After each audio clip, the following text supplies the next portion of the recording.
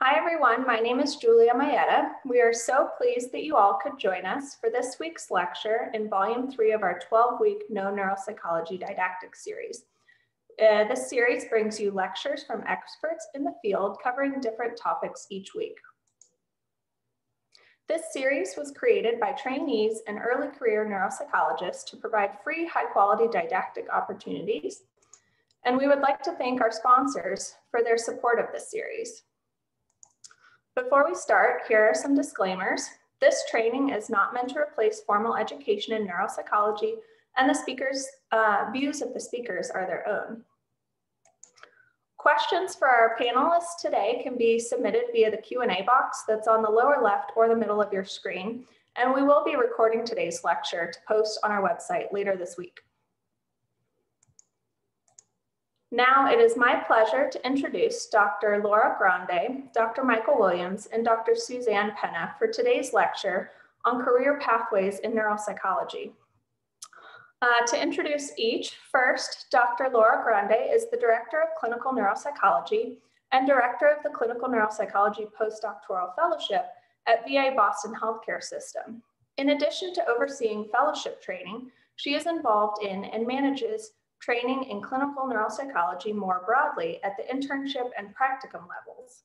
Her varied research interests include the development of cognitive screening measures cognitive changes associated with close proximity blast exposures, and selective attention and inhibition.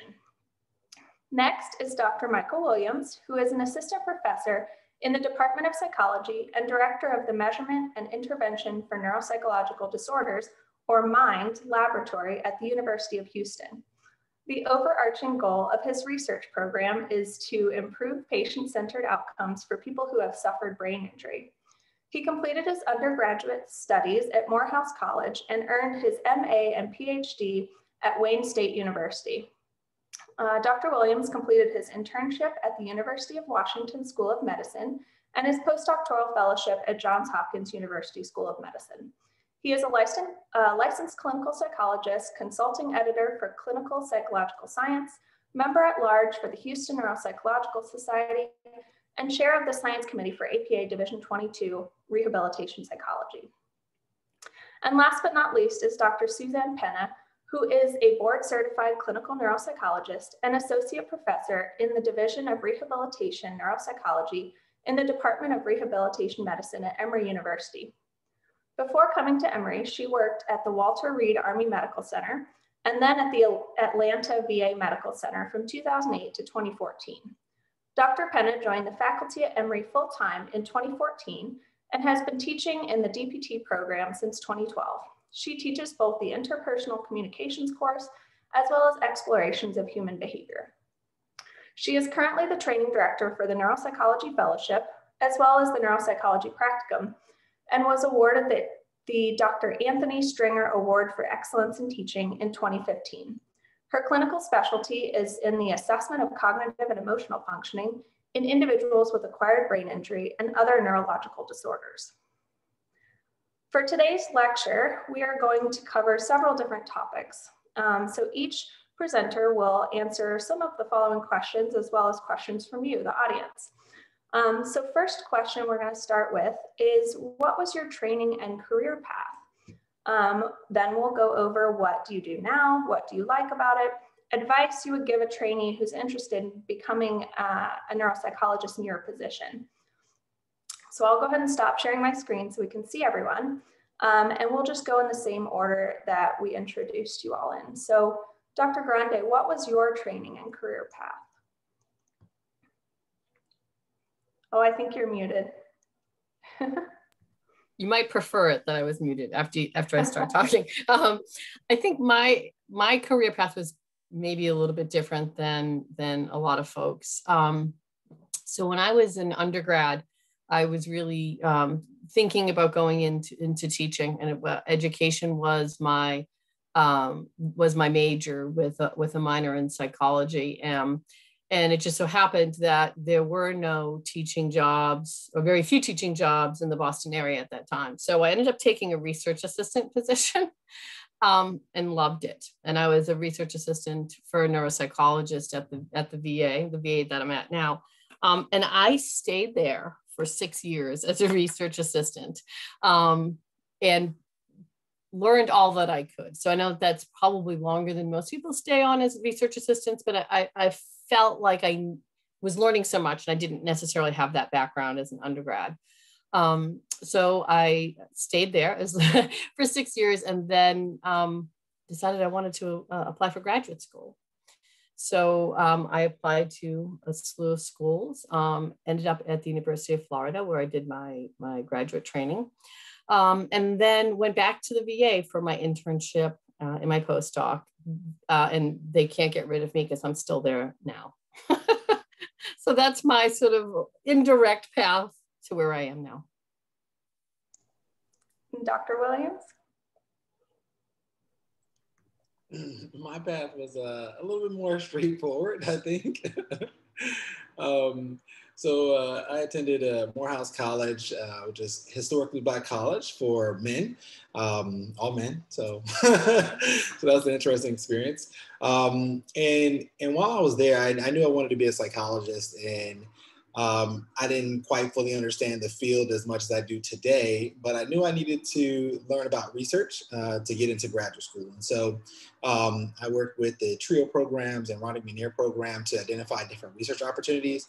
Um, uh, Mr. Brockmayers, who was the director of the programs at that time, was very helpful and, and kind of supporting me and kind of encouraging me and kind of helping to figure out my way and stuff like that. And so that was super helpful. And I, uh, actually started out in my first research lab at a National Primate Research Center uh, at Emory University. So I was working with uh, Dr. Robert Hampton.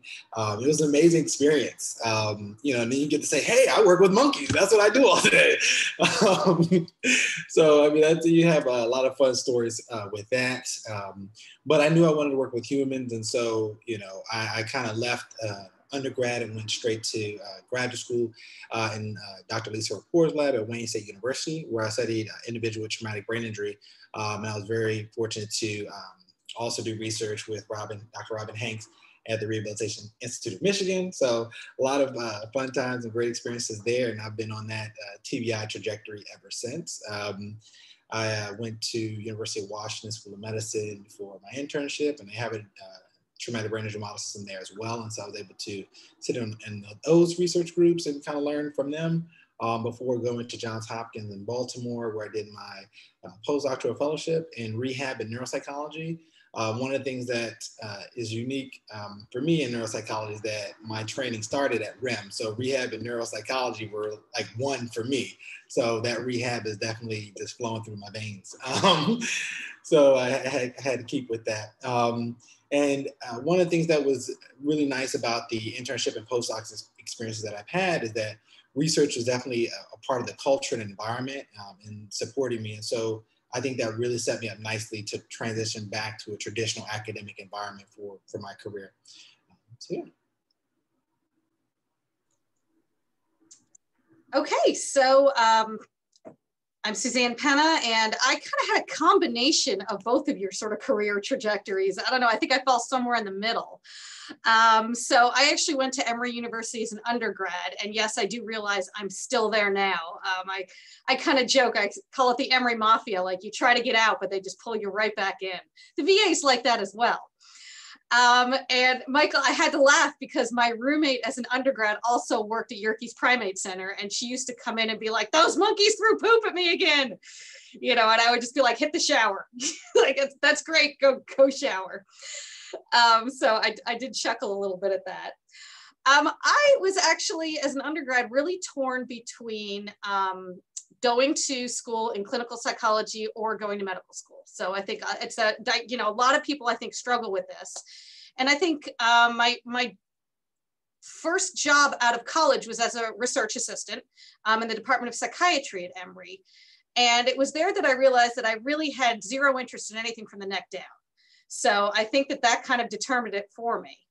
Um, but I was very interested in sort of the medical or biological aspects of psychology rather than sort of your more traditional clinical psychology. And I didn't know that neuropsych existed. So it really wasn't until I started grad school at Georgia State University where um, I realized there was an entire subspecialty of neuropsychology and it was you know, like the angels started singing, the clouds parted, and it was like, this is what you will do. Um, and that was it. I was hooked. Um, so, you know, I, I did start out as a straight clinical psychologist looking at sort of, um, you know, biological mechanisms of depression, and I just completely shifted into full neuropsych. Um, I ended up doing um, my um, my internship at Yale University and fellowship at um, University of Alabama in Birmingham, where is, um, I really got interested in traumatic brain injury, which was also a TBI model systems site, similar to RIM, similar to, you know, all of these other places. So these large multi-center sites, um, you can see how they sort of, people tend to know each other through those things. Um, and I kind of loved severe TBI. It was really, I loved um, particularly inpatient rehab work. Um, and very similar to Michael, sort of the, the rehab and the neuropsych really kind of went hand in hand. It was like, you know, very hands-on, very um, sort of, okay, how do we, how do we deal with what's going on here in the moment? How do cognitive impairments translate into behavioral problems? How do you manage that? And I kind of thrived on it.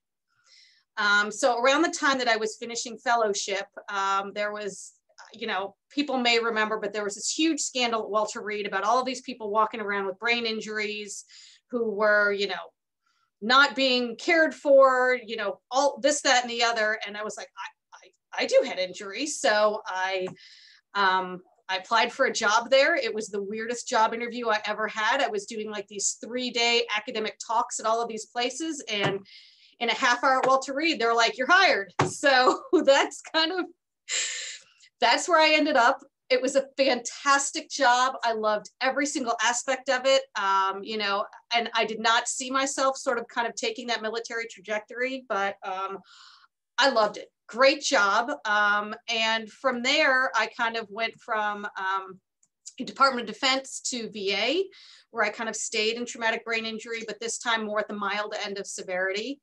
Um, and, you know, and the only reason I left that job at Walter Reed is Emory came calling. And, um, you know, my mentor at Emory, Tony Stringer, um, I would probably stand in front of a bus for that man. And he called and he said, We've got a job. And I said, I'm coming. Packed my bags and um, started off full time at the VA and then just sort of transitioned over. And since 2014, I've been full time over at Emory, um, doing more of sort of the academic medical model, but still sort of have my toe in over at the VA with um, the mild TBI program there. So that's my that's my story. Thank you all so much. It's so nice to hear kind of the similarities and the differences in your trajectories and kind of where you're at now. Um, I guess related to that, what exactly do you do now? Some of our um, viewers are interested in kind of the daily tasks. What is the nitty gritty of your week? Um, and what do you like about your current position? I guess we'll start with Dr. Grande. Sure. Um, I do a lot of different things. I do a lot of different things. And I would say that um, some weeks are pretty consistent in terms of I do the same things. And then other weeks it's, it, it can be really varied. So um, I as the director of the neuropsychology um, consult service, um, that, that's really what I do is I manage our outpatient clinics and we have, so we're at, we're at three um, different VA campuses. So VA Boston is, is three different medical centers and we have outpatient uh, clinics at two of those. So um, I manage those clinics um, with staff and, and our trainees. Um, it's primarily outpatient. Some of that has changed over the course of the pandemic, and we're doing a little bit more inpatient. Um, but that's a big chunk of what I do. So basically, what that involves is people from lots of different services, typically psychiatry, neurology, geriatrics, and uh, other psychologists will send referrals to our clinic um, and I'll review them and determine if they're appropriate for neuropsych testing. You know, the uh, please administer uh, Rorschach is not one that I will often accept. I'll say, no, no, we won't be doing that, but we can help you in other ways. Um, and determine, you know, sort of what, what clinic will, what clinic will they fit in, what will they fit in best. Um, I we also we have a large number of trainees, um, and so we have a pretty strong um, didactics and lecture series that we do. So we, Thursdays are education day, um, and on Thursdays we um, before the pandemic, anyways, we would try to have our neurobehavior rounds one once a month, where we'd have a, an interesting patient come in and have a discussant interview the patient um, and do some bedside testing and some teaching. Um, and then we also have a lecture series that's twice a month and a seminar series and a didactic series for our, for our neuropsych trainees. Um, kind of in and around those sort of two main parts of my week, um, I will see some patients myself. Um, I'm also supervising trainees and doing a fair amount of administrative stuff. Some of it's more exciting and fun than other administrative stuff. Um, but uh, you know, I, I would say as my career has gone on, I'm, I'm doing more administrative activities and probably less of the hands-on um, activities. And I'll, I'll, leave it at that so that, so that Michael and Suzanne can talk.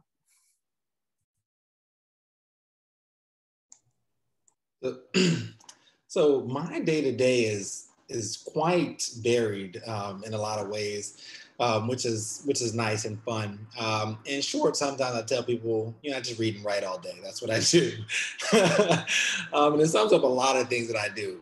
Um, I'm either reading or writing for the most part. Um, but I would say the one of the, the highlights of, of my job is I think mentorship and, and, working with students. And so I think for me, I enjoy the, the teaching aspect of being a university professor um, and being able to engage with undergraduate and graduate students in that mentorship piece. That's like the, um, I think the, the key to, to one in this position. And so um, you know, pre-COVID, I just start was starting to get into the classroom teaching clinical assessment two, um, which is the hands-on measures for cognition, academic achievement, personality, and so forth. Um, so that was pretty nice. We would get in the clinic, we would kind of have volunteers come in, and so I would, you know, have the experience of supervising clinical cases, but not real clinical cases. So it was still kind of fun in that regard. I have like a little bit of toe in the clinical, but I'm still working on the teaching and mentorship. Um, and so that was really nice. Um, I started uh, a new course, uh, psychology at PM&R um, at University of Houston. So that's really nice to kind of bring rehab into the educational system very early on. Um, so that's really nice. It was fun to develop that course. Um, and so I'll be teaching that again this fall. Um, and so that was just really fun. I had the, the opportunity to bring in some clinicians and some research that I know into the classroom to kind of speak, which was really fun and nice discussions, um, really talking about uh, disability advocacy and so forth. Uh, students' perspective was just uh, phenomenal in terms of ideas they've had. Um, and then you know, some using some natural experiences that uh, came up. So in uh, Houston, we had a snowstorm this year, which was crazy for a variety of reasons, uh, other than the fact that it was Houston. But it was an opportunity to get them to, to think about how would this be for you know a person with disabilities you know and what does that mean what was the infrastructure like and so just being able to have discussions like that in the classroom very early on i think has just been super powerful and impactful uh, the students have been able to share that with me and their, their classmates so i'm really excited to see how you know we're able to grow this class and what we're offering at uh um, you know, uh, the the next best thing I get to do is research. Um, you know, I get to ask questions all day.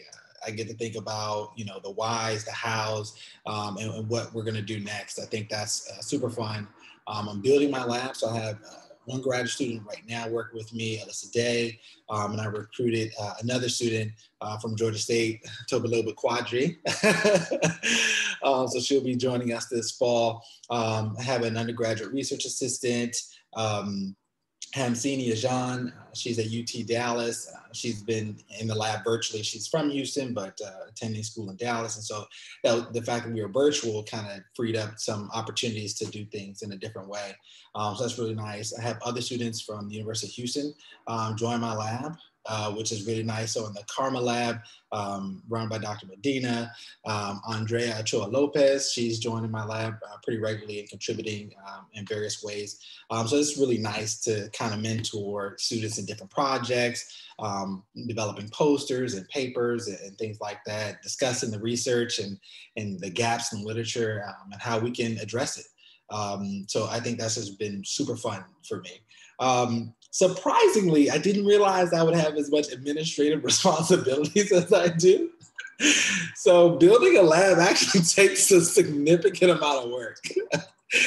um, so, you know, thinking about managing a budget, doing orders and purchasing, kind of planning, designing, you know, not a strong suit of mine, but, uh, you know, it's a, it's a part of it, right? Um, so ordering lab furniture, um, and this is amidst the COVID, so things have been slowed down, but I have my order together. So hopefully I'll have furniture soon for my lab.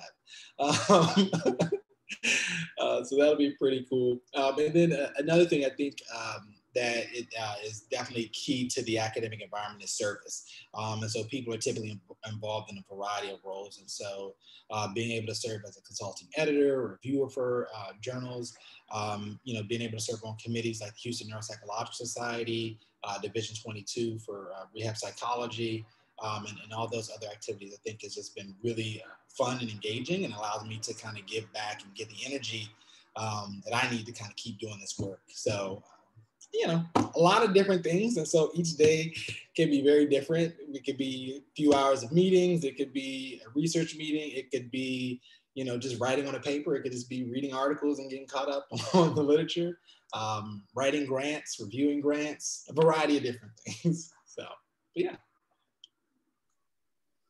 Excellent. Cool job. so um, I uh, my job, I'm in an academic medical center. So um, I'm on the School of Medicine side of things over at Emory. And um, it's sort of um, a little bit different than Michael's job in that I don't actually work with um, graduate students in a primary research mentorship role. So um, I'm actually the training director of the um, clinical program, clinical neuropsych programs here. So we have practicum students from four different local universities. We have in, um, an internship program, which I'm the director of the neuropsych track, and we have a neuropsych fellowship, which I'm the director of. So the type of teaching I do is more of a medical medical school model in that I'm primarily supervising students doing assessments. So four days a week um, are clinical days for us. So Monday through Thursday are clinical days. Uh, Fridays are supervision, didacting, like uh, didactic. I said, you know, sort of like all teaching all the time on Fridays. Um, and the rest of my job sort of falls in between all of that. So, um, which I think you're probably hearing a theme from all three of us. You know, it's sort of you're juggling a lot of balls in the air at any given time um, and how we do our teaching, our research, and our clinical work looks a little bit different in each site, but all of us are sort of engaged in, in some way um, to different percentages.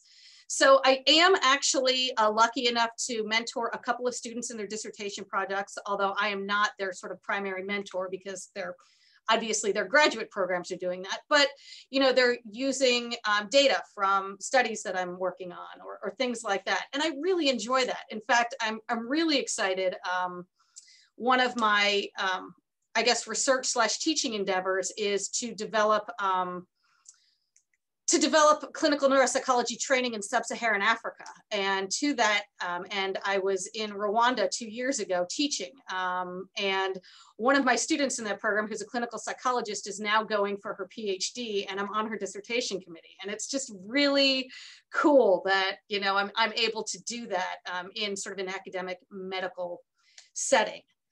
Um, so really, I think yes, I'm doing clinical work, but the clinical work I'm doing is alongside students. So, you know, for example, today I had two patients and I had a fellow on one of the cases and a practicum student on another one of the cases. And we sort of do them together. Um, so yes, that's sort of how we get the clinical needs met, but also the training needs. Um, in terms of formal teaching, um, I, you know, I used to teach formal classes in the Department of Physical Therapy. Um, it was, you know, basically it was sort of applied neuroanatomy, like your, your patient is amnestic. How are you gonna do physical therapy with them? Your patient has aphasia. How are you gonna do physical therapy with them? Um, given that my administrative duties have increased, um, again, you may notice a theme here. Uh, I, have sort of handed that off to more junior faculty, uh, but I do miss teaching. You know, in terms of what makes my heart sing professionally, I really consider myself a teacher more so than anything else. You know, I love my clinical work, I love my research, but I'm a teacher. Um, and, and I'm lucky enough now that I'm sort of um, mid-career and can really sort of focus on that. I don't have to constantly sort of build my resume in terms of publish, publish, publish, which quite frankly, if you do pursue an academic career, that is kind of how you have to start. Um, that's what gets you in the door. Once you're in the door, you know, you can start to shape things a little bit more. So um, that's my day to day. Um, kind of like everybody else, it's a little like drinking from a fire hose. Um, but then again, you know, life would be boring if we weren't. So there we go. That's a common thing I've been hearing lately, especially with COVID. It's extra fire hosey. really uh, wet, really, really wet. yes. Hopefully it cools down a little bit. Um, next question on our list is what advice would you give for a trainee who's interested in um, being a neuropsychologist in your position? Mm. Am I going first again? Sorry. Um, You're always first, Laura. Can, could you repeat the question, please, Julia? sure. So what advice would you give a trainee who's kind of trying to get to your position now, basically? Okay, so I would say I would say take advantage of all the opportunities you possibly can. And that can be it can be challenging because saying yes to everything means that there's a fire hose on full blast all the time, as Suzanne mentioned.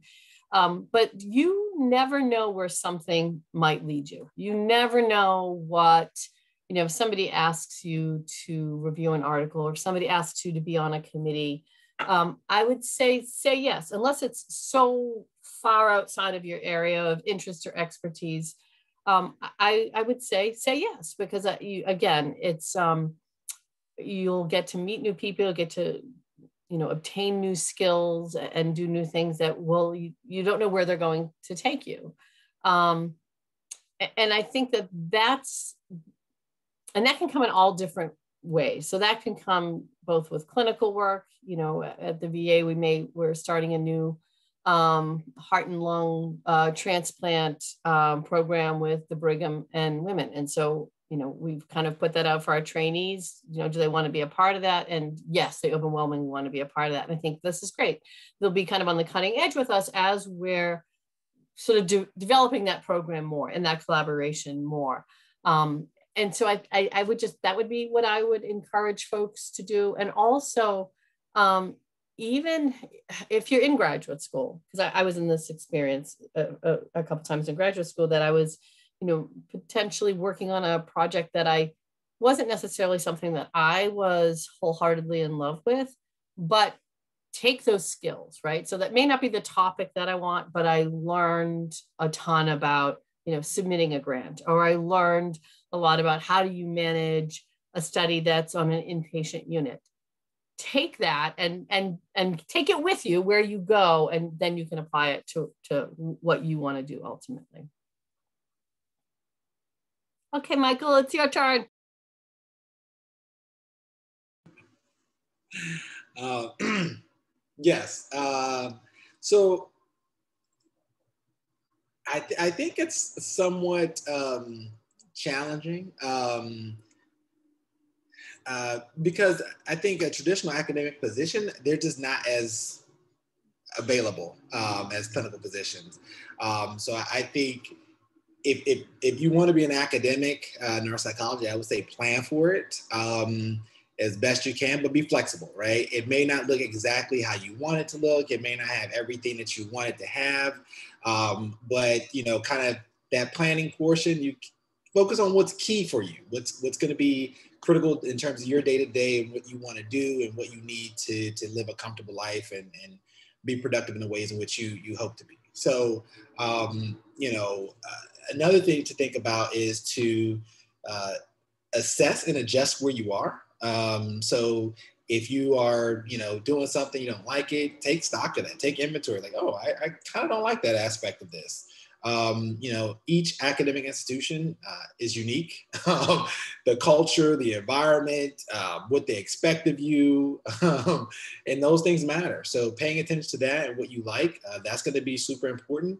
Um, and and one thing that I think goes hand in hand with all of these things is, is mentorship. Um, so making sure you identify good mentors to, to help you along the way. Um, you know, have them look over things you submit, your CV regularly, opportunities that come up. Um, ask them to identify opportunities for you that would be good for you to get to the next stage or step of your career. Um, and despite all of it, stay encouraged and be optimistic. yeah, I think that's probably easier said than done sometimes. Um, so, so just to kind of put it out there, I, you know, I talked about my first job out out of college. You know, I was a, a, research assistant. Well, the reason I took that job is I got rejected from all 15 grad schools that I applied to. Um, and you know, so I was like, all right, you know, and I said, what do I need? What do I need? You need research. You know, everyone's like, you got to show that you can do research because again, these programs that you're applying to they're they're preparing you for a research career. And i knew i kind of wanted an academic medical center because i liked that sort of aspect of things. I'm like yeah this is what i want to do. So i spent that whole year getting a lot of research um, research experience. And i applied to 15 more grad schools. And the only reason i got into the one that i did is because two people who they accepted said no. And i was the third person on the list. So you know I think what Laura was saying, as in, you know, it, it can be discouraging, but find a job gaining experience. You know, it's like, it's perfectly fine if you're not doing what you want the first time out of the gate. And yeah, I get it. It's hard. Um, you need money. You know, research assistant jobs are really good for giving you money. Um, I would say try to find something like that rather than like, you know, finding like uh, you know, a retail job that might give you good experience with something, you know, might give you some money, but doesn't really put you forward in terms of your career. Um, I think the other thing that, you know, in terms of getting where I was, I did not take the most direct route. I think a lot of people who are going traditional academic medicine start like, you know, and it's grant, grant, grant, grant. Um, and it's publish, publish, publish. And I had, you know, a pretty good record of publication. Um, and um, then I had kids, and I had a husband who uh, was not going to be bringing home the bacon. You know, I knew that I was going to be the primary caregiver, and it needed to be me, and I needed to feed my family. So, you know, that was another reason why my original job was at the VA, and it was clinical. Um, and I always had this goal okay, I want to be in an academic medical center. And even though I'm in a job that's 100% clinical right now, how do I get there? So while I was in that clinical position in the TBI clinic, I started reaching out to the researchers there. Hey, do you want to work on this? Hey, do you want to work on this? So I sort of built my research from the ground up while doing the clinical stuff. Um, and it worked out that way. You know, oh, hey, I've got this really cool clinical population um, that we really haven't studied. Let's do something with this data. You know, so just because you're in a clinical job make yourself a database you know you can still do these things. So i think you know it can be disheartening particularly people who are on sort of the grant path and you put in this amazing grant it's this great study and you're like look at my amazing study. And you come back and they're like your study sucks. Um, you know and you just it's like demoralizing and and i mean at least it was for me. I don't know for other people but you know i was like okay that's fine. You know let me see if i can get at this a different way let me see if I can do this a different way. Let me see if I can hook myself onto somebody else's study, you know, establish myself as a name and then go from there. So, um, you know, I, I kind of came into this a little bit backwards, but again, it was always sort of my work with TBI in that sort of area, even though it wasn't the research that I wanted, it was the work that I wanted, it was a population that I wanted. And that built my way into the job that I'm in now, if that makes sense.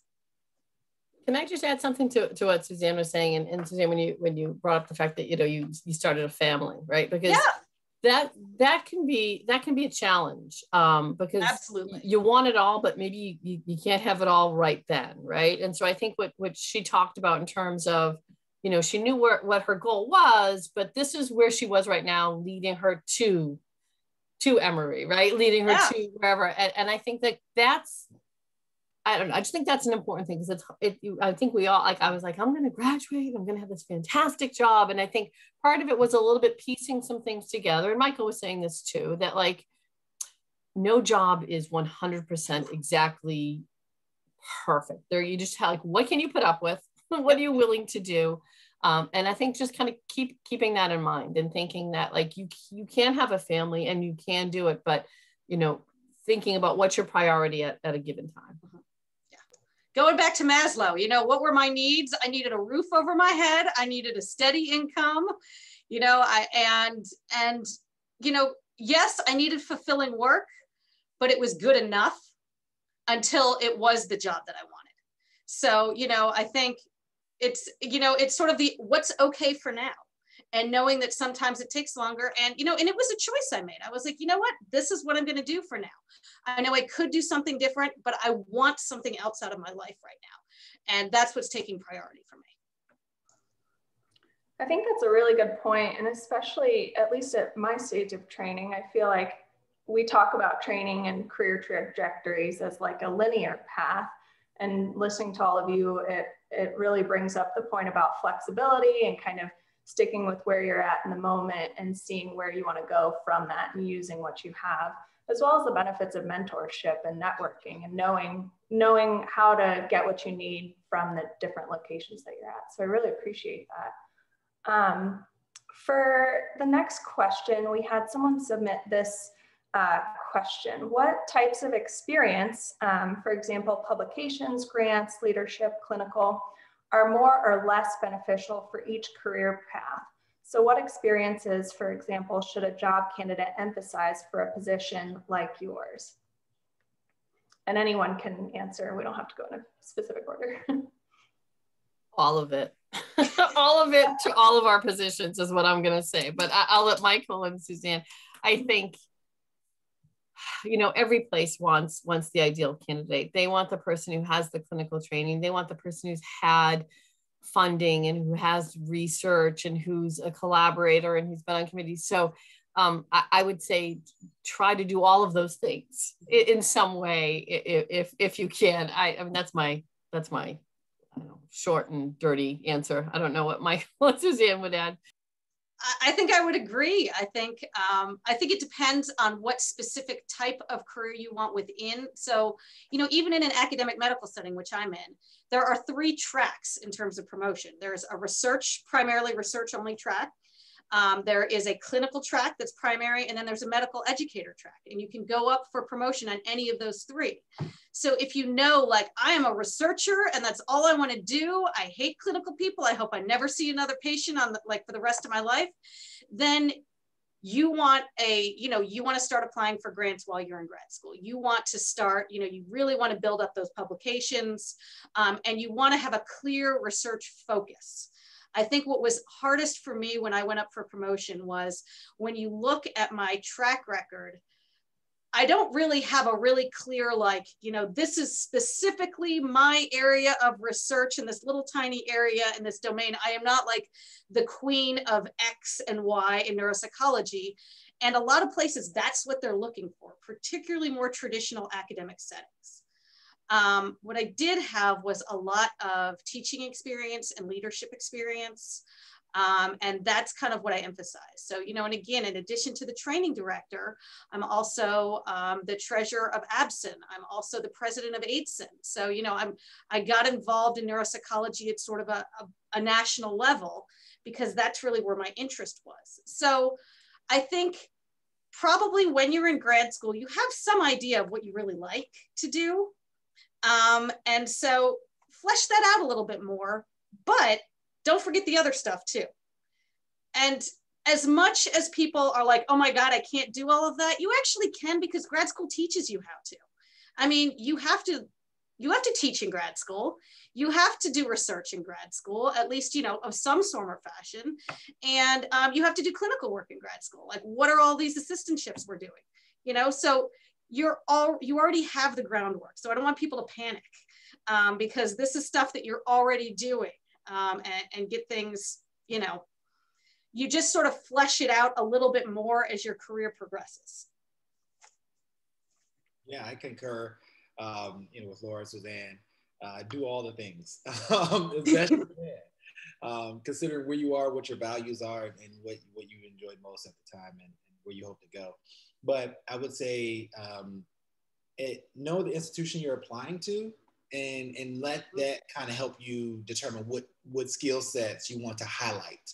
Um, you know, because in certain places, eh, they may not care at all about teaching.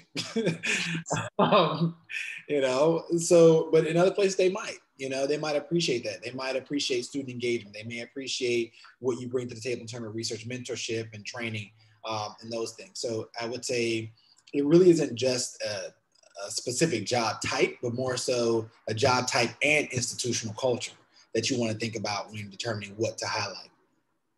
That is a super good point. Yeah. So match your CV for the job that you want. And even if you're casting a broad net for jobs, research the place and tweak your CV for that particular job. Thank you for that. Um, the next question that is on our list is a bit more general, but um, what's something that you wish you had known prior to starting graduate school? And I'm going to add another part in here prior to starting your career post postdoc?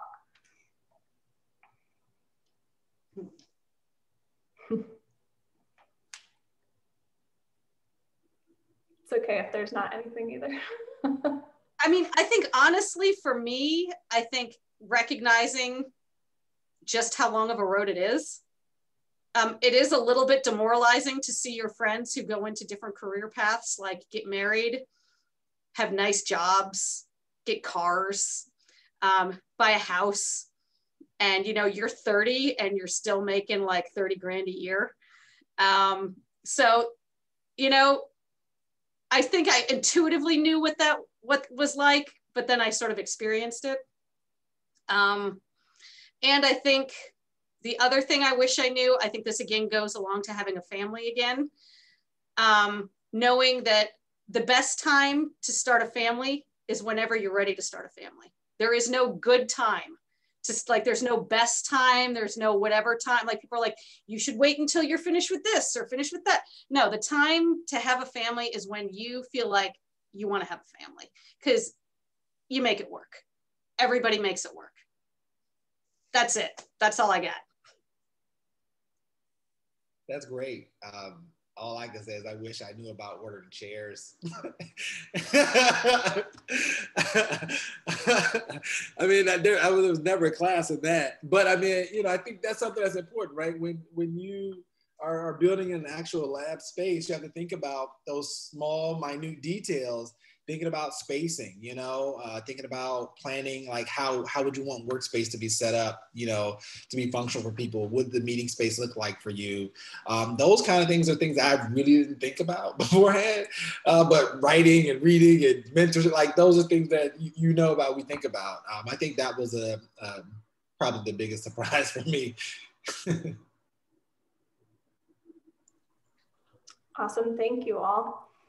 Um, the next question has to do with the balance between uh, clinical psychology in your work and clinical neuropsychology. So specifically for those of us in training who wish to practice as neuropsychologists and also hope to integrate, for example, rehabilitation or therapy into our assessment work.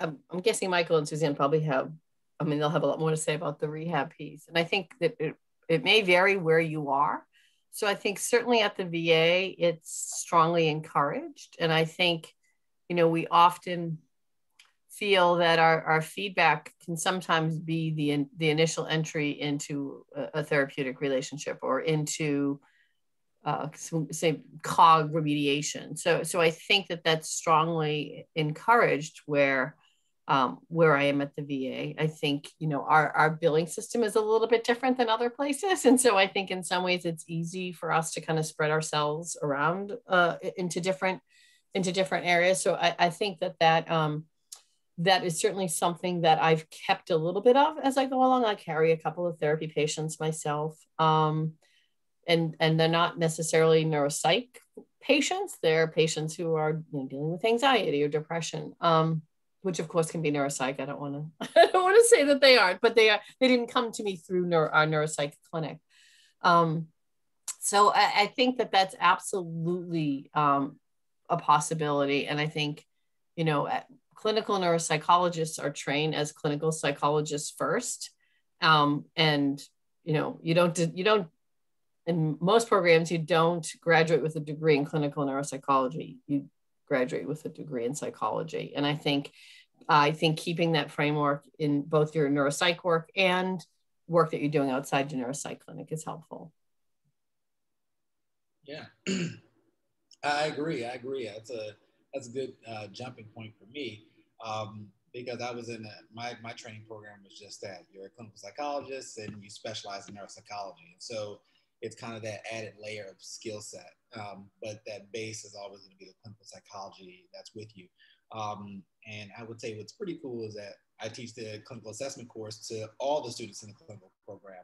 So year one, I have the opportunity to touch all the students. And so I definitely have a little bit of my rehab neuro influence on the training piece there, uh, but also just talk about just general clinical assessment, um, you know, cognition, mood, and, and, how that relates to therapy, how that relates to, um, you know, different experience that people may have with other clinicians after you, what it looks like to, to do a feedback session, have a warm handoff, um, getting people in the door, you know, like the, the calls, the, that initial contact, how you work with people to get them into the door. So having people actually show up for the appointment, that matters. Um, and, and, how we operate, how warm we are, how inviting we are um, is important. So thinking about those um, soft skills, I think I, uh, you know, try to talk about that a little bit in the classroom and so forth as well.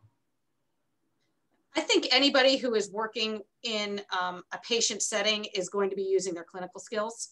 Um, I think as a neuropsychologist, um, anytime I think people want to do therapy or incorporate rehab, it's going to be welcome. It's just an issue of whether or not you want to do that. Um, me personally, not really a therapist.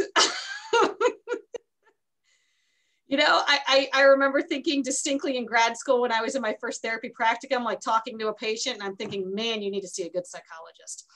Um, so I, I just, I really love assessment. I love doing feedbacks. I love kind of, you know, and then I love backing out.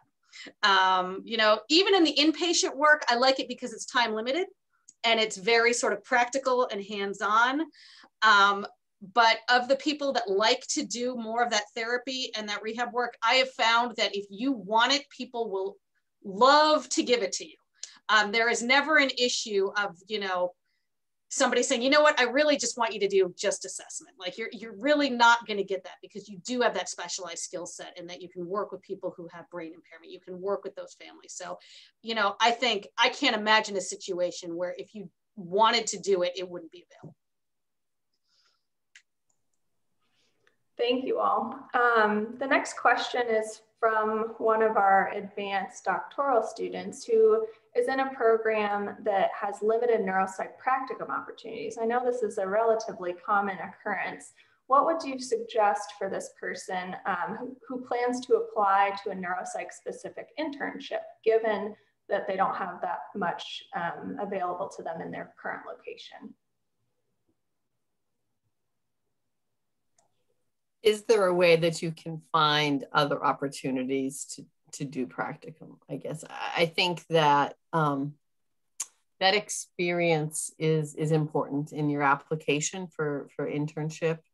Um, and, and is there a way that you can you can round you can round that out? Are there other opportunities for you to maybe work with a neuropsychologist even in a private practice if you're not in in, in an academic um, medical setting? Um, because I, I you know it's it's breadth of training and it's and people want to people want to see that you that you have lots of different experiences. So um you know if, if you're in a place where that's possible I, I would encourage you to do that. I will say i think honestly covid has maybe made it a little bit easier um, because so many people now are incorporating telehealth.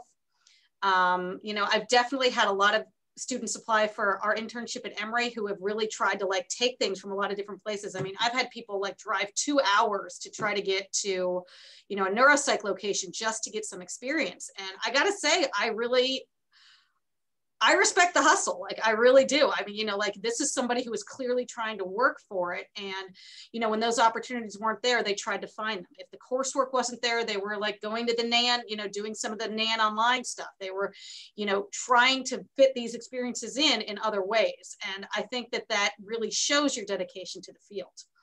Um, and so I think particularly now with COVID, the, the game has changed a little bit um, and reaching out to places that might be a couple of hours away, you know, obviously still within state lines because of the practicing issues, but hey, would you be willing to accept a practicum student like doing telehealth um, or, or things like that? Um, you know, I do think it is challenging, um, but I agree with Laura, you do need that breadth of experience. Um, so I would say, you know, if you're really going to extend yourself in one area, that's the area that I would extend myself. Yeah, that certainly makes sense. And telehealth has also opened up more opportunities. So hopefully that'll be helpful for this person. Um, the next question has to do with applying to graduate school. So in your different positions, is it better to have a broad range of research experiences or only a few but more in-depth experiences? And does this vary perhaps across your different positions? In terms of the applic application itself, I, I guess, mm -hmm. well, I guess that's a good question. I, hadn't, I hadn't really thought about that. Um, you know, I, I don't, I don't no, because I'm not on the admissions committee. I'm on the commissions committee for for one of the graduate programs at, at BU. But I think what um, what people take from the CV when you're applying is here's here's uh, proof that this person can kind of function in a real world, right? So, and and this not because my route to my career was different, but you know the idea that someone's gone to high school, college, and then going right to graduate school they may never have been out in the real world and like had a job had like a had a nine to five job that um, you know they they had to show initiative they had to um, kind of manage a lot of tasks. And i think that that is oftentimes what a research assistant position can help you do. Gather some of those skills that are necessary for graduate school but also that hey this is somebody who's dependable trustworthy somebody who you know can can can get the job done. And so i i honestly don't know that if it if it's sort of you know multiple areas is better than diving in deep in one area. I think if you're really interested in working in a specific area and that's really what you want to pursue for your graduate school and life beyond then then maybe it's helpful. But otherwise i'm i i don't know. But i'm interested in hear what my uh, michael and susan have to say. Um, I, I think it's really about the story you tell um, because the, not everybody's going to have the same experience. And so, I mean, I think even from a viewing standpoint, you're comparing research lab X to research lab Y for different students all the time. And so it's not necessarily something that you can just compare across. And then I think most reviewers uh, are going to just bear in mind that everybody's not going to have the same opportunities.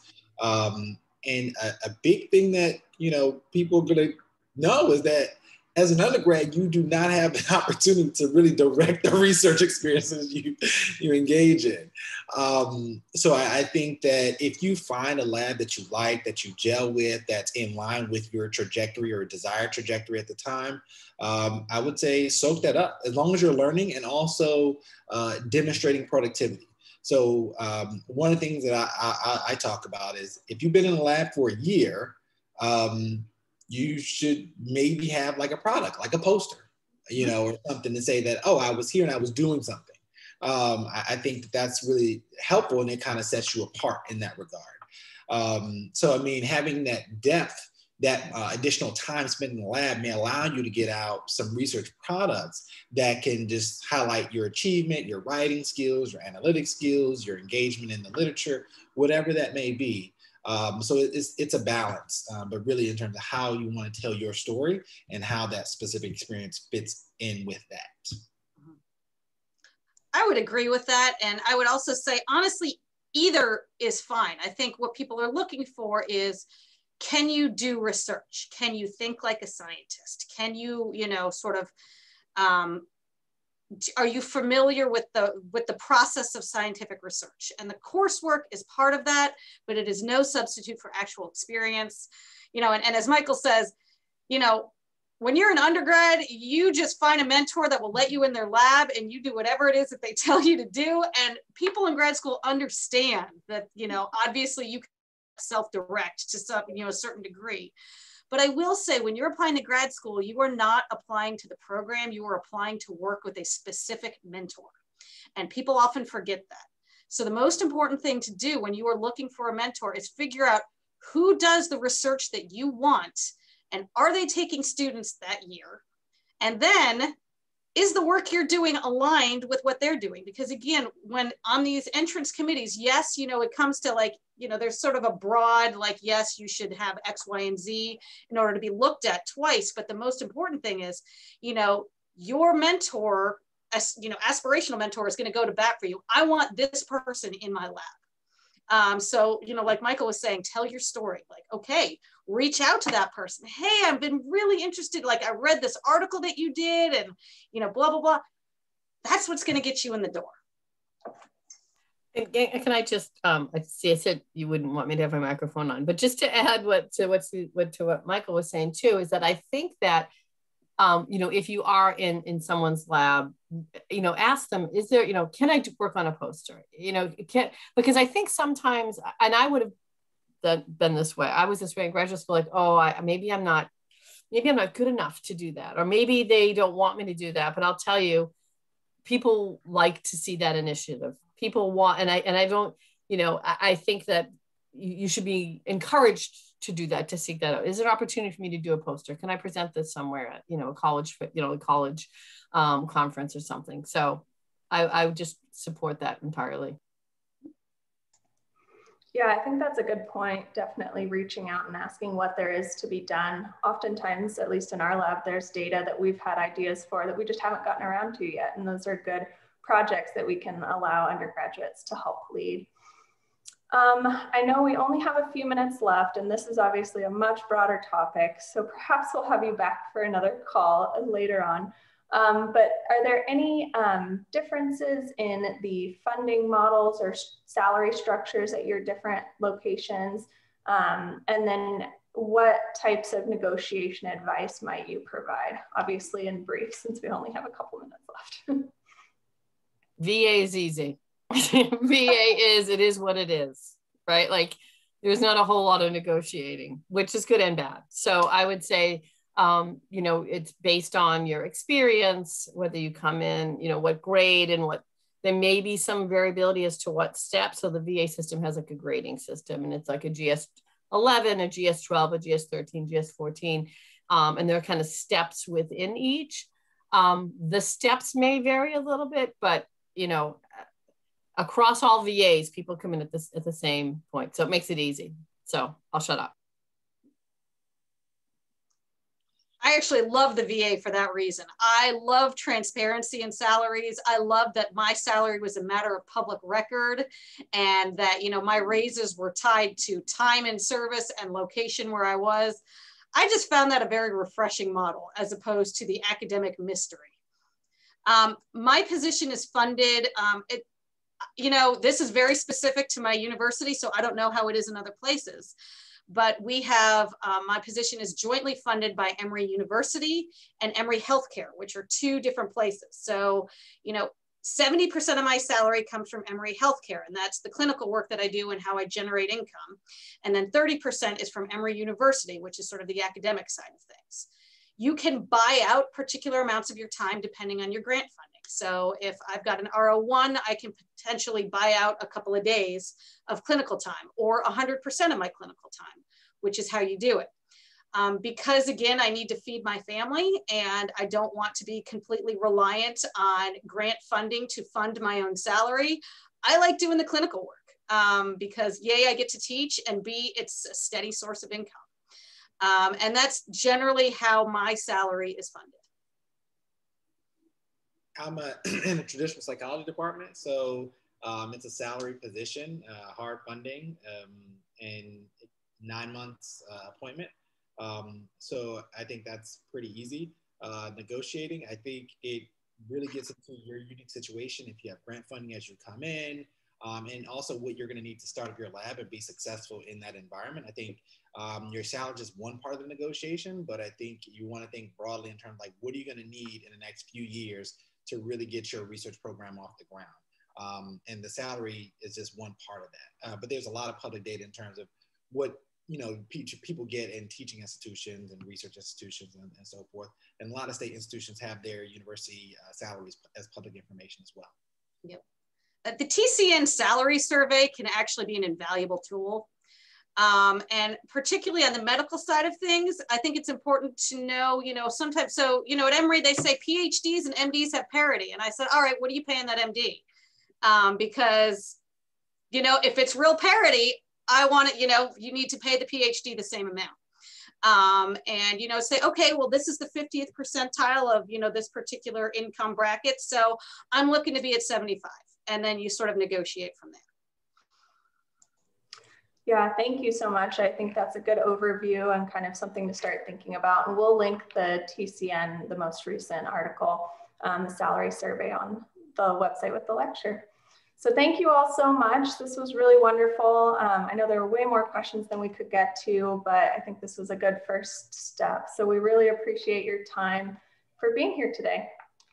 Thank you everybody for attending. Thanks for the questions. You know, I'm sure we're speaking for me, I'd be happy to come back if there was interest.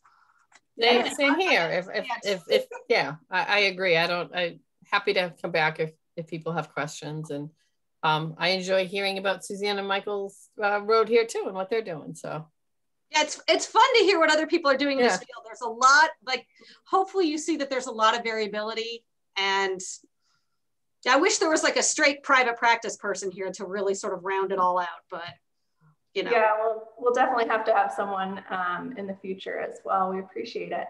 So thank you all. Thank you. Thanks, everyone. everyone. Bye-bye.